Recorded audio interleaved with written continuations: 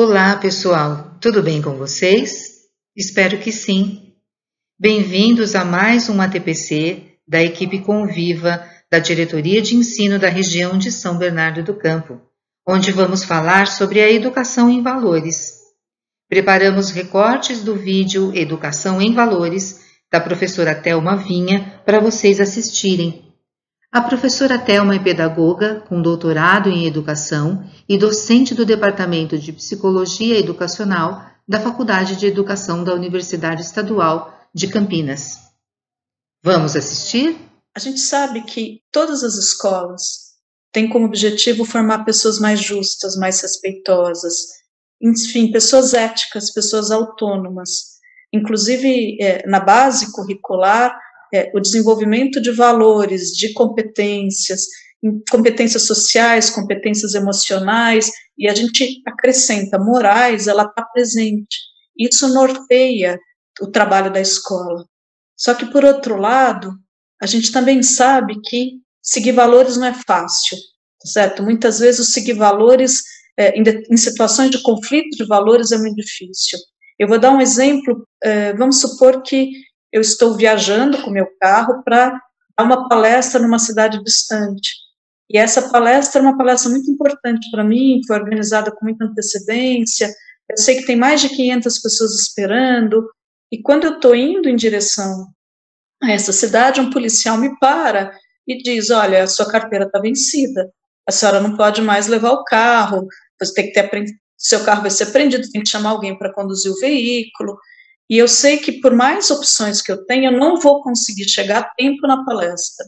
Nesse caso, eu tenho uma situação de conflito de valores, ou seja, eu quero muito é, chegar na palestra, mas aí você tem um policial que diz assim: se a senhora me der uma cervejinha, uma caixa de cerveja, eu resolvo esse problema para você.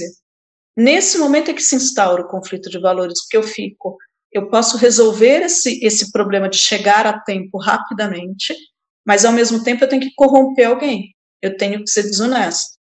Então, aonde está o conflito? Ele está na questão de ser honesta nessa situação, não usar o outro como meio, e ao mesmo tempo um outro valor para mim, que é honrar um compromisso assumido, compromisso com as pessoas que estão lá. Então, você tem um conflito de valores. E muitas vezes seguir o que é certo, o dever, ele é difícil, porque ele vai implicar em perdas, como nessa situação. Se eu sigo o valor da questão de ser honesta, nesse caso, eu não chego a um compromisso, eu, eu perco não só o honorário, mas eu decepciono as pessoas, eu, é, eu não honro uma palavra empenhada. Por outro lado, se eu não subornar o policial, eu sou coerente com o valor da honestidade, mas eu firo um outro valor que não é moral, mas que poderia, que é a questão da, de, de, da responsabilidade. Então, o seguir valores, ele não é uma coisa fácil, ele pode implicar em perdas concretas. Vai depender muito dos conflitos que estão em jogo numa determinada situação. Então, vamos pegar um outro exemplo. Fazer de conta que é domingo, eu estou indo almoçar fora com a minha família, numa outra cidade acontece a mesma situação. Nessa situação, pode não haver conflito de valores quando um policial me para, justamente porque é, quando ele vai falar, a senhora vai ter que chamar alguém, o carro vai ter que ser apreendido, etc., é, senão a senhora me dá uma cervejinha, a, o seguir o almoço com a família em determinada cidade, ele é algo não tão importante para mim. Então, o que, que você faz? Você segue o valor da honestidade e fala, não, eu vou esperar, vem alguém buscar o carro, vou chamar um Uber para me buscar, mas porque não houve, de fato, um conflito de valores, porque o compromisso de fazer um almoço com a família não era algo tão forte ou tão importante. Então, o que eu estou querendo trazer é que no cotidiano, os valores eles aparecem justamente em situações em que eles estão em conflitos. E aí, muito mais do que um seguir um valor, por exemplo, a honestidade, honrar um compromisso, uma das coisas que a gente observa é a força de um valor. Pode ser que o valor da honestidade ele seja um valor não muito forte para mim. Então, em situações, por exemplo, em que está em conflito com outro valor, como ir é, assumir lá a palestra que eu, que eu combinei, ele pode ser fraco a tal ponto em que ganha mais a questão de, da palestra. Além da gente ter ou não ter um valor da honestidade, não basta ter um valor, a gente depende também da força desse valor.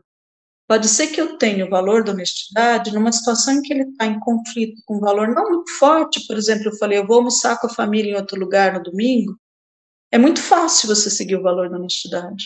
Mas em outros momentos em que ele está em conflito com outro valor muito forte, que é, por exemplo, honrar o compromisso com uma palestra, ele pode não ser forte o suficiente.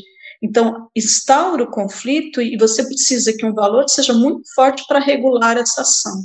E nem sempre ele é, não basta ter o valor, ele precisa ser forte. Uma outra informação importante é que nós temos nesse processo que a gente fala de conflito de quereres. O meu primeiro querer numa situação que um policial disse, a senhora me der uma cervejinha, eu tô, a senhora pode seguir, né, eu te libero. Meu primeiro desejo, meu primeiro querer é claro é me livrar daquela situação. É claro que é dar o dinheiro para poder chegar a tempo na, na palestra. Acontece que, é, quando a gente está falando em valor moral, a gente está falando num processo de regulação. Então, o valor moral é quando ele é forte o suficiente para regular o meu primeiro desejo. O meu primeiro querer é subornar, mas o segundo querer é me ver como alguém honesta. Então, quando você tem isso como valor, ele vai regular o primeiro. Por isso que a gente está falando em conflito de quereres e força de valor. Isso é fundamental para a gente compreender um processo de desenvolvimento moral. É, seguir valores vai implicar em perdas. Certa vez uma professora falou assim para mim: Ah, outro dia meu aluno ele, ele tirou uma nota baixa, mais alta na prova, e eu errei né, na contagem, e ele falou assim: professora, a senhora me deu nota 8 e o correto é 7. E ela conferiu e falou: Nossa, é 7 mesmo. Eu errei na hora que eu contei. Ela falou: Puxa, Nunca ninguém vem falar quando eu erro para mais, né? Para mais. É a primeira vez que um aluno me re, reclama disso, ou me traz que eu fui incoerente nisso. E aí, no outro dia, vem a mãe desse aluno e fala assim: o meu filho foi honesto. E a senhora reduz a nota dele. E, e veja, a professora ainda falou: eu não reduzi, eu botei a nota correta. E mais ainda, essa mãe virou e disse assim: a senhora não só deveria ter mantido oito, como dado meio ponto a mais, porque ele foi honesto. Essa concepção dessa mãe está por trás de uma ideia de que quando você segue valores, você se dá bem, a vida te sorri, né, vai dar tudo certo. E essa concepção, ela é uma concepção do mesmo jeito que você acha que você vai ser beneficiado, você vai ser punido se não seguir.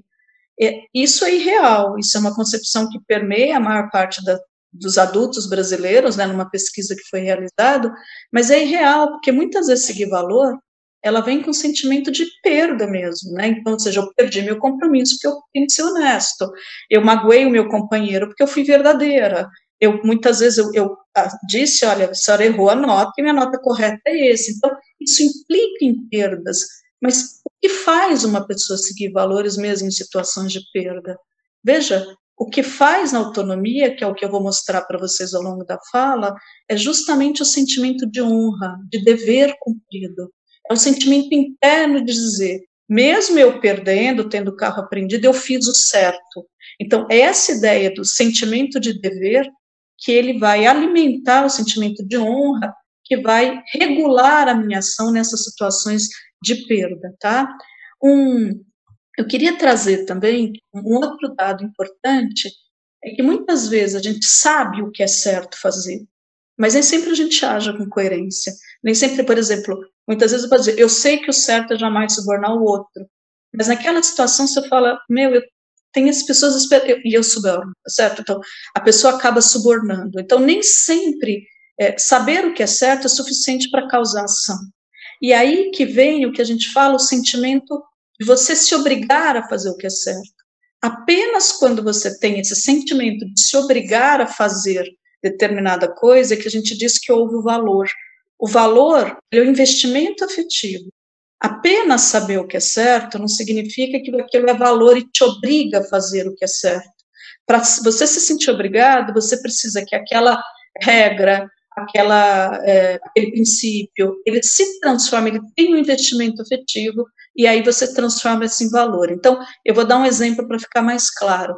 É, vamos supor que eu sou coordenadora de vocês e digo assim: olha, eu estou precisando de ajuda para tabular esses dados e apresentar na reunião a cada 15 dias. E vocês falam, não, eu posso fazer isso, fica tranquilo que eu faço.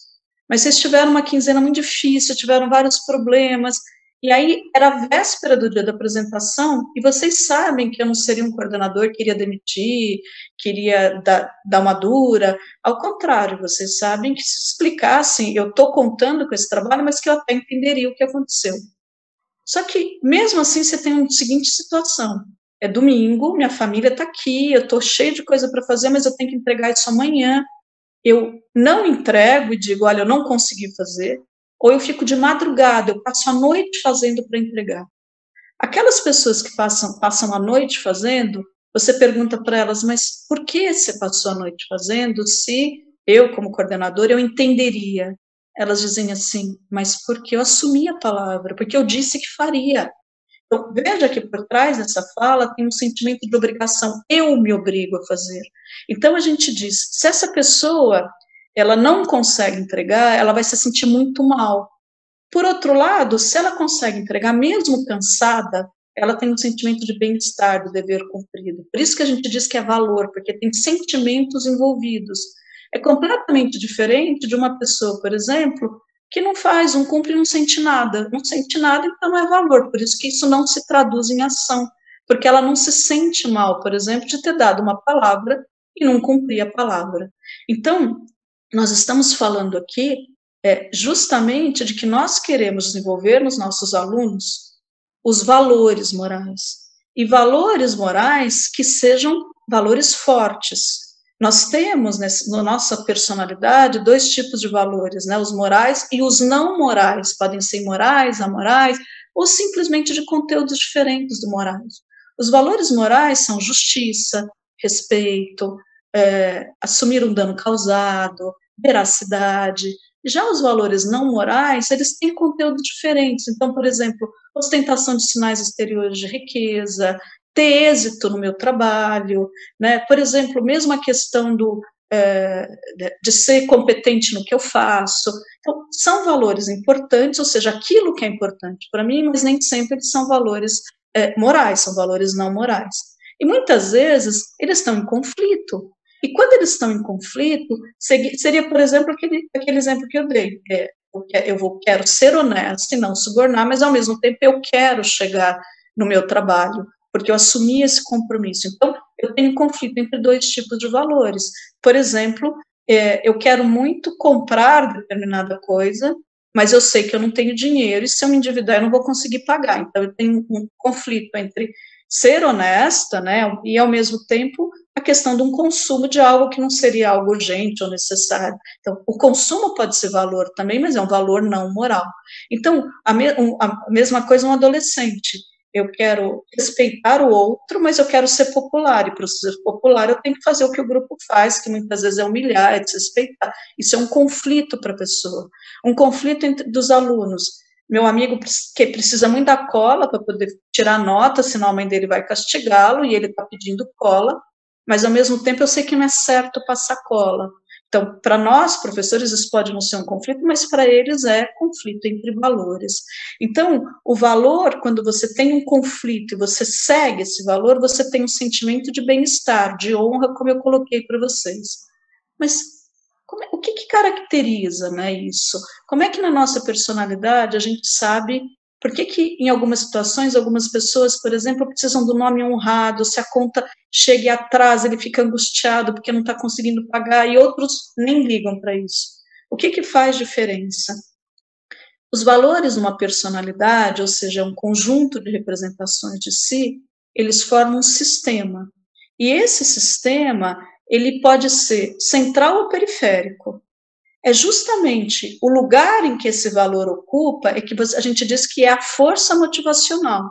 Então, por exemplo, no, no exemplo que eu dei sobre honestidade e consumo, uma pessoa, aquela pessoa que não, não, deixa vencer conta, ou se faz dívida enquanto não paga, não sossega, ela tem a questão do nome honrado como um valor muito central. E às vezes o consumo, ela também tem o valor do consumo, mas ele é periférico. Quando isso está em conflito, o não assumir dívida é central. Outras pessoas, o consumo, por exemplo, é muito mais central.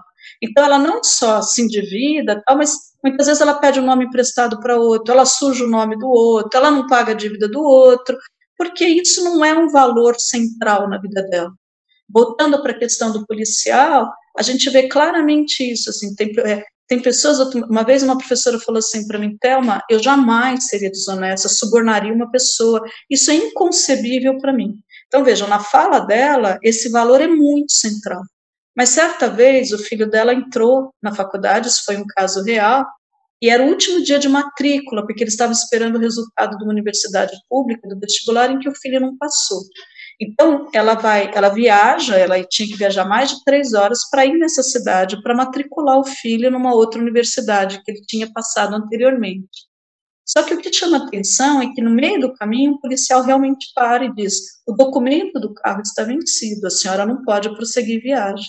E ela implora, ela pede, ela diz que o filho era o último dia, que ele vai perder a vaga. E o policial fala: Eu sinto muito. Ela vira e fala assim: Quanto o senhor quer para me liberar, para eu poder fazer a matrícula do meu filho? Veja, o valor da honestidade era extremamente forte. Mas quando ele está em jogo, o futuro do filho, o futuro do filho é ainda mais forte. Então, o que faz diferença no nosso sistema, no fator motivacional, é o lugar em que esses valores ocupam e, ao mesmo tempo, uma segunda questão que faz diferença é se é, em que conflito ele está, com que outro valor ele está em conflito. Por isso que a gente não pode dizer a pessoa é sempre honesta, a pessoa é sempre justa, porque vai depender do, de um outro conflito, do outro valor que estiver em jogo numa situação de conflito. Então, muitas vezes eu tenho um discurso, por exemplo, ah, é, eu respeito todo mundo, funcionário em ganho da família, mas no meio da pandemia, é, eu, eu penso, bom, é pandemia, mas ela é minha funcionária, estou precisando do serviço, então, é, apesar do meu discurso, é, o respeito, o bem-estar do meu funcionário, ele não é valor, ele é periférico. Então, assim, nos primeiros dias eu deixo, mas depois, quando começa a ficar difícil para mim, essa pessoa tem que passar a pegar ônibus, pagar essa condução, voltar a trabalhar.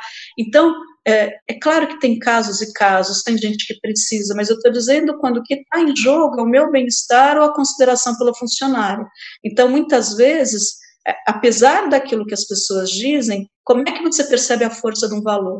Nas ações, é nas escolhas da ação. Não é na, no discurso que a pessoa tem. Na prática é que você vê quais foram as escolhas, os reais valores das pessoas. Um outro fator que interfere nesse processo é o que a gente chama de integração. A integração dos valores é justamente que eles sozinhos, na sua personalidade, nas suas representações de si, ele não tem tanta força.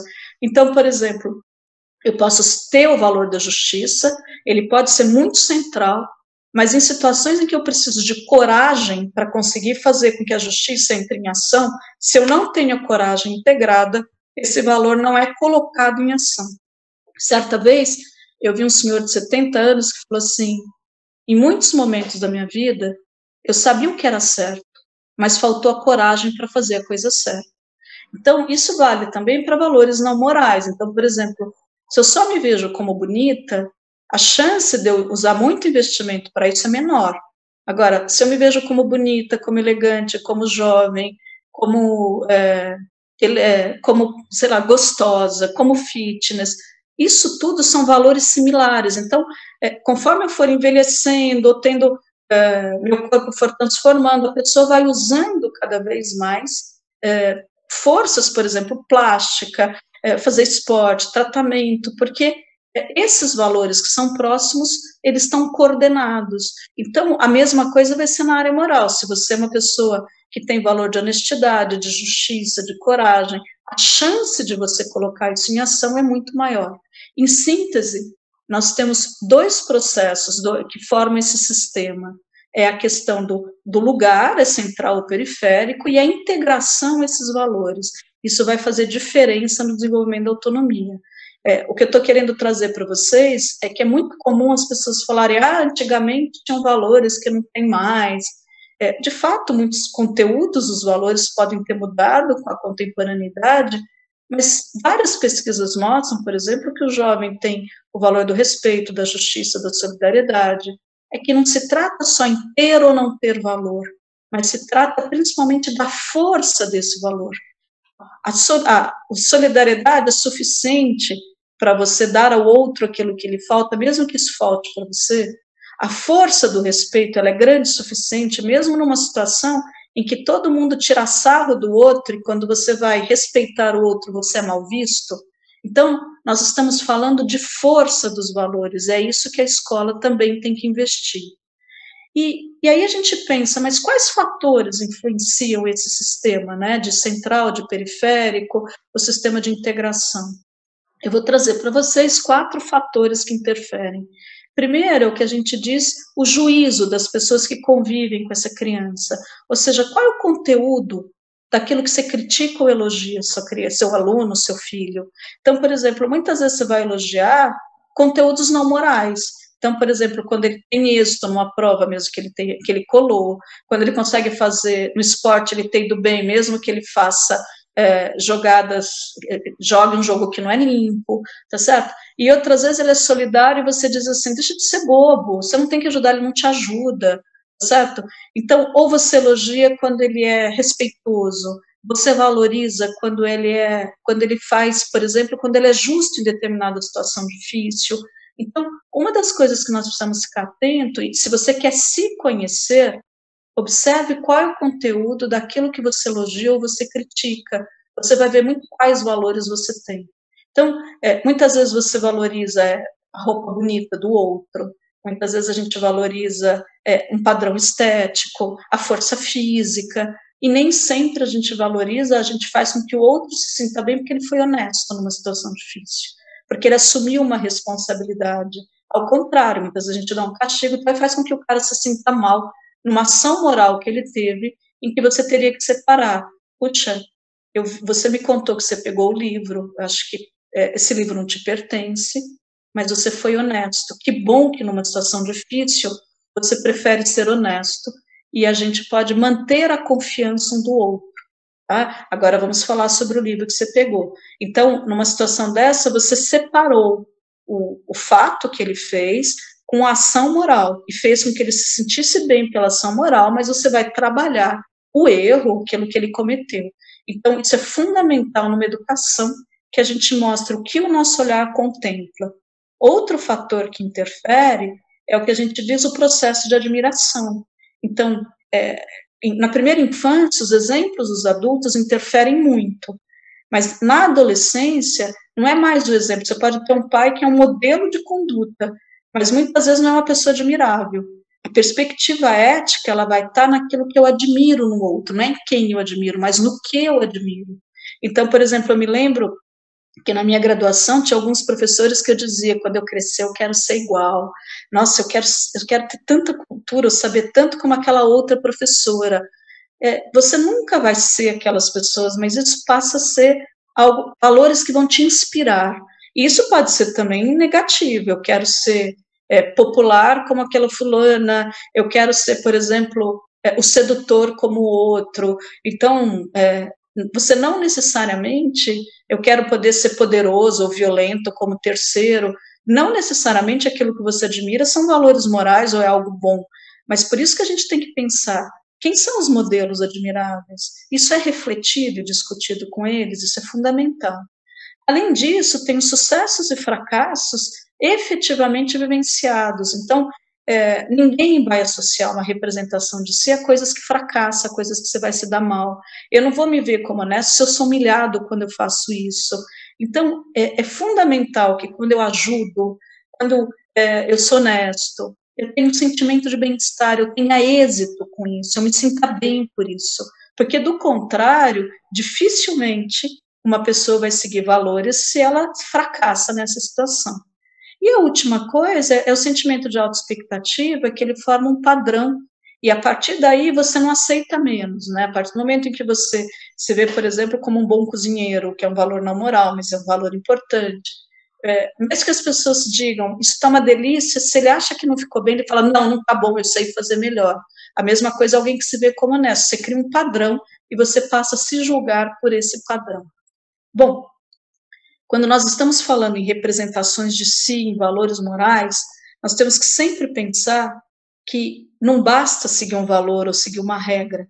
Quando nós falamos em moral, nós estamos falando justamente no porquê se segue as regras. Vamos pegar um exemplo de uma atitude de uma pessoa que foi honesta. Eu posso, é, vamos pegar alguém que não pegou ela tem oportunidade de pegar dinheiro de uma carteira que está é, aberta na mesa e as duas pessoas não pegaram. Uma pode não ter pego simplesmente, não ter pegado simplesmente porque aquele dinheiro não te pertence, tá? Então eu não pego porque aquilo não é meu. Outra não pegou porque tem filmadora, porque alguém poderia ver. As duas não pegaram. É a mesma coisa? Claro que não. Então, é óbvio que a gente quer o porquê, ele vai caracterizar se essa ação ela se conserva em outros contextos ou não. Então, por exemplo, uma pessoa que não pega um dinheiro porque não te pertence, mesmo numa situação em que ela esteja precisando, ela tem uma tendência de não fazer isso nas diversas situações em que ela tem oportunidade. Uma pessoa que só não pegou porque aquele dinheiro não aquele dinheiro é, ela tem uma filmadora, está olhando, tem uma chance de castigo, provavelmente numa outra situação em que esse elemento de regulação exterior não está presente, ela não vai mais seguir e vai acabar pegando dinheiro. Então, essas questões são muito importantes, porque se você quer ver um nível de uma moral mais desenvolvida ou menos desenvolvida, nós vamos sempre estar olhando por quê, o, qual é o motivo daquela ação. Então, isso vai fazer toda a diferença. É, a criança, nesse processo, ela nasce no que a gente chama de anomia. A anomia é justamente é, até os quatro anos, mais ou menos, ela não tem noção do que é certo ou errado. Então, você pode dizer para o seu filho: não faz birra agora, nós estamos no meio do mercado. Filho, a mamãe vai, ele te ignora solenemente, ele vai continuar fazendo birra, ele vai continuar jogando as coisas. Então, agora, conforme ele vai crescendo, a autoridade vai fazendo diferença para ele tá certo? Então, por exemplo, se quando ele tem dois anos você fala, você não vai descer da cadeira, é, porque agora não é o momento, ele desce e te ignora, a autoridade não tem peso. Mas por volta dos cinco anos, se você diz, você vai ficar sentado agora porque a mamãe, é, essa criança fica. Então, você até pensa, né, por que, que ela fica? Justamente porque por volta dos três anos e meio, quatro anos, a autoridade começa a ter um papel estruturante na personalidade dessa criança. Então, a, ela entra num período depois da anomia que a gente chama heteronomia, em que se antes na anomia era ausência de normas, agora ela é governada exteriormente, ela é regulada exteriormente. E essa regulação exterior, exterior né, essa regulação é, que vem né, de fora para dentro, como é que ela ocorre? Ela ocorre de várias maneiras. Né? Essa criança, ela, ela obedece, ela, ela se sente obrigada a obedecer à autoridade quando a autoridade está presente, ela tem medo de castigo, de punição, ela tem medo de levar uma dura, ela tem medo de perder o amor. Então, por exemplo, certa vez, é, é, eu estava com a minha filha num condomínio, num, num parque, e, e eu fui colocá-la, ela era pequenininha, eu fui colocada no alto de um brinquedão. E aí eu subi no brinquedão para colocá-la lá em cima. E outras crianças estavam assistindo, elas falaram assim: é, tia, desce, adulto não pode subir no brinquedão.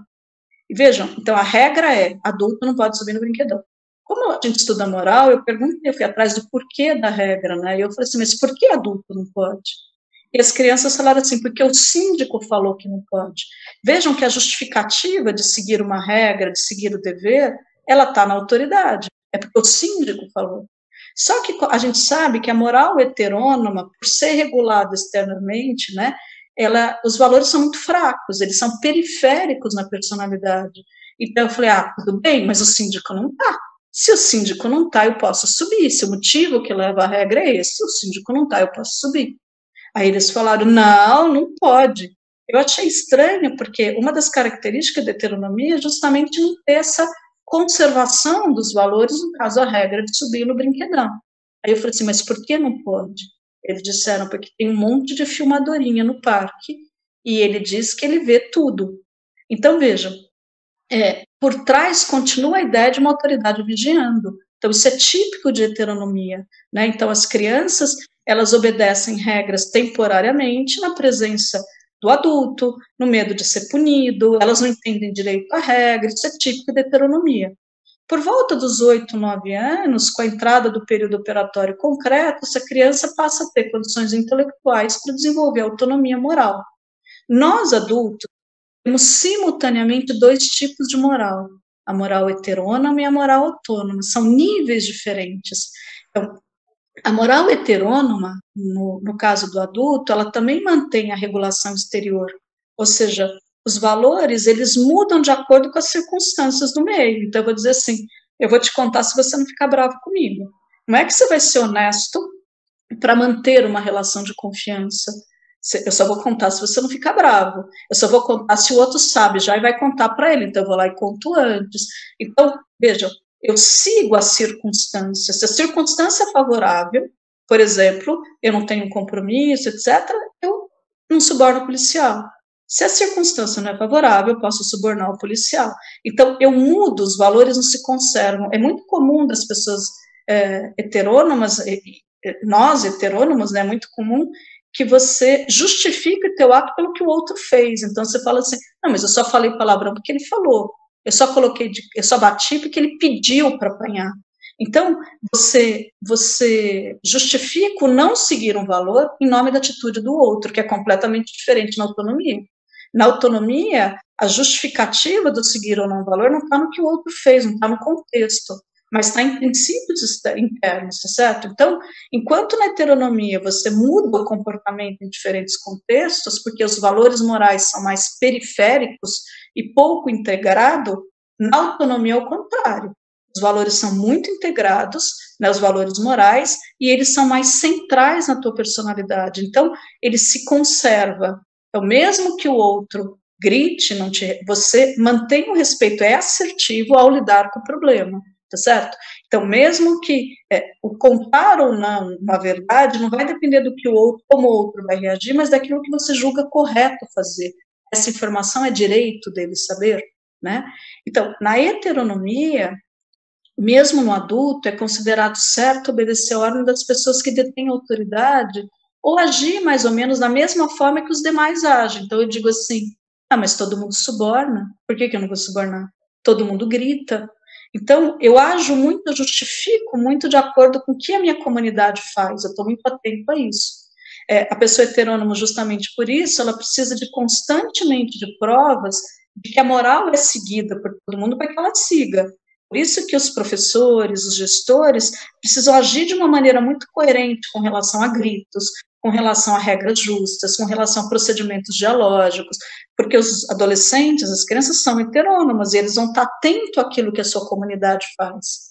Já na autonomia, o sentimento de obrigação, de aceitação para com as normas, ele é mais interno. Então, por isso que a gente diz, autonomia é autorregulação, não é regulação exterior. E ele é mais fundamentado na equidade, nas relações de reciprocidade. Então, o que vai acontecer é que, apesar, por exemplo, dos contextos diferentes, da pressão social, a pessoa, na prática, ela vai permanecer fiel aos seus valores, aos princípios de ação. Ela vai dizer: Eu sei que qualquer um subornaria, mas eu não vou subornar, porque não é certo. Justamente esse país está assim, porque todo mundo. Então, ela tem argumentos para justificar agir de acordo com os valores, independente do que a comunidade faz, porque ela se vê como representante da humanidade, não só daquela comunidade social. E aí ela segue a moral, né, os princípios que podem reger, valer para todos os seres humanos. Então, a autonomia tem a conservação dos valores. É, a pessoa autônoma, como é que ela se autorregula, né? Ela se autorregula porque não depende de algo externo, porque quando ela segue um valor, mesmo que todo mundo critique, ela, ela tem um sentimento de honra. E quando ela não segue, por exemplo, ela acabou é, agredindo alguém, por exemplo, ela acabou subornando, ela, mesmo quando ela fere muitas, algumas vezes os valores, ela sente culpa ou vergonha. E, é, e ela se sente muito mal por ter, porque não seguir um valor que ela defende é se desrespeitar. Então, eu firo o autorrespeito quando eu não sigo. Então, eu não dependo de processos de regulações externas. Mas é, eu acho que uma questão aqui muito importante é nós pensarmos, é, se nós queremos formar para autonomia, nós precisamos pensar justamente em quais procedimentos nós estamos utilizando para desenvolver esses valores. É por regulação externa? Ou eu estou desenvolvendo esses sentimentos de me sentir bem quando eu sigo um valor? De me sentir. De, isso é um valor tão forte que quando eu não sigo, eu me sinto mal. Então, é fundamental que os procedimentos numa escola sejam coerentes com isso. E aí, é, logo depois de Piaget, que faz os primeiros estudos na área da psicologia da moralidade, vem orientando dele o Kober, que mostra que mesmo o processo de desenvolvimento moral, ele vai passar por determinados estágios, tá certo? Por determinados níveis. São seis estágios e três grandes níveis. Então, o primeiro é, estágio que o Kober mostra, de juízo moral, de raciocínio moral, são aquelas pessoas, e isso as crianças, os jovens estão incluídos, mas adultos também, que raciocinam da seguinte forma: eles é, é, é heterônomo, tá? Esse nível heterônomo, mas eles são dois estágios em que no primeiro estágio a pessoa tem é, uma perspectiva muito mais, a gente diz, hedonista, né?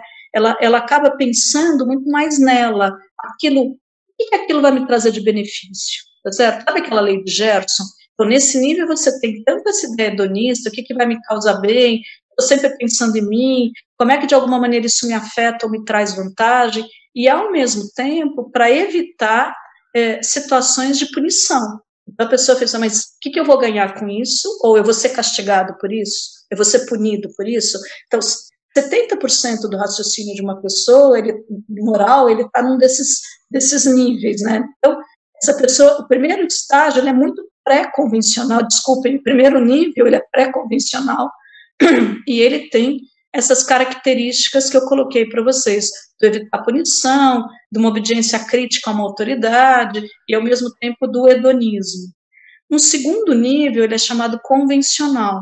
Ele também tem dois estágios, como pré-convencional, e ele um, um, dos estágios é o que a gente chama de um menino, né, boa menina e bom menino, que é uma pessoa que age muito daquilo que a sociedade espera dela. Então, o que é esperado que mulher vista, que roupa ela veste, o que é esperado que um homem, como é que um homem se porte, o que é esperado de uma boa professora, o que então você mantém a ordem social, você mantém a regra, justamente porque a regra te traz uma ideia de justiça, de equilíbrio. Então, a, a, a gente diz justamente que essa pessoa que se preocupa muito com o que o outro vai pensar dela, tá certo? Essa é a grande preocupação que esse, que esse nível tem. E, e, outra característica desse nível, é um outro estágio, é que a gente fala uma orientação legalista, que é uma pessoa que se preocupa muito em seguir a regra. A regra é o que traz a justiça para ela, tá certo? Então, eu digo assim para o meu aluno, eu não queria te colocar para fora, porque tá, mas é a regra da escola. Então, o tempo inteiro eu peço regra, eu me remeto à regra, porque para mim é a regra que traz uma ideia de justiça. Eu sou rígido com relação à regra. Então, o nível pré-convencional e convencional são estágios ainda de heteronomia, a autonomia começa quando ela entra no pós-convencional, só ocorre em adultos, tá certo? Que tem, novamente, dois estágios, que um estágio é justamente um contrato social e o próximo é a pessoa que age a partir de princípios e raciocina a partir de princípios, e, e, esse estágio, que já é um estágio de autonomia, é quando a pessoa compreende que normas, por exemplo, são acordos sociais e que eles podem se modificar dependendo da situação e que o ser humano ele vale muito mais do que a regra, que eu preciso coordenar um direito individual, uma necessidade de um aluno, uma necessidade individual com uma necessidade do bem-estar coletivo, e que isso não é fácil fazer. Em que eu compreendo, por exemplo, que os princípios estão acima das regras das pessoas. Então, o que mais importante do que uma regra de usar uniforme é o princípio de garantir a aprendizagem daquele aluno. Então, é, eu, eu trabalho muito mais com uma ideia de princípios que sustentam a decisão, isso é típico de autonomia. E por que, que eu trouxe essa evolução? Né? Primeiro, os estudos demonstram que a maior parte dos adultos brasileiros estão no nível convencional, que é ainda é um nível de heteronomia, e, e se nós queremos favorecer a autonomia, nós precisamos atuar para que esses alunos, para que esses estudantes cheguem cada vez mais, reflitam moralmente, avancem cada vez mais nesse processo em direção ao nível pós-convencional. A escola ela não pode mais achar que o trabalho com os valores morais, assim mesmo como o desenvolvimento socioemocional, pode ser algo secundário ou apenas transmitido curricularmente. É preciso que haja intencionalidade no planejamento da convivência, melhoria nas qualidades das relações, espaços de participação, espaços de mediação de conflito, espaços de protagonismo, de cuidado, de apoio mútuo. A gente não deve impor regra pela regra, não deve impor regra pela autoridade, porque a gente está perpetuando um nível de desenvolvimento moral que nós queremos transformar. A escola, ela deve ter, ser tudo aquilo que nos humaniza. A conversar com o outro, a lidar com o outro, compreender o outro, cuidar do outro, minimizar as desigualdades, ensinar a coordenar perspectivas, a conviver junto, aprender a viver com e para o outro.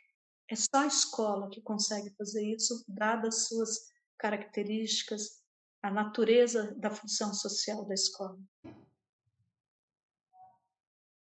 Depois de assistirmos aos recortes do vídeo da professora Thelma Vinha sobre educação em valores, gostaria que vocês, professores, refletissem a respeito. Que valores estamos reforçando nas escolas? Pensem sobre esta questão. Muito obrigada a todos. Fiquem bem.